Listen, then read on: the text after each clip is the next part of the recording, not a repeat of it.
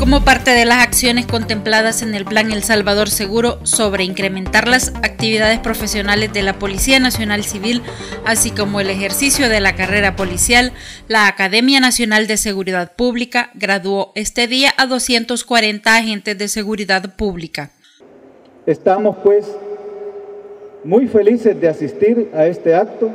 en el cual estamos graduando a la promoción 114, conformada por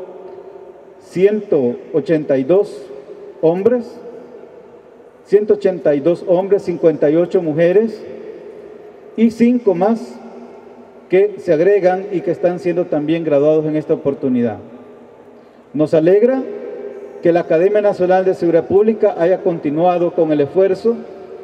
de la representatividad de mujeres en cada una de sus promociones, de forma que las mujeres que conforman este grupo son prácticamente el 25%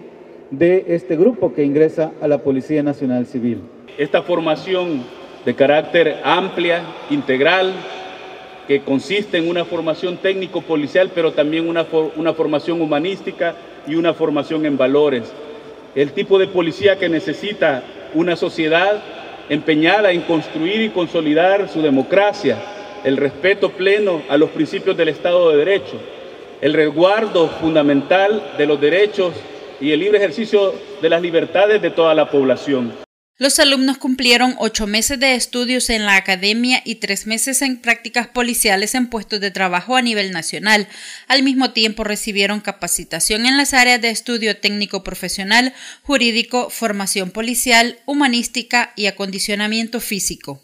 Hoy termina una etapa y comienza otra en nuestra vida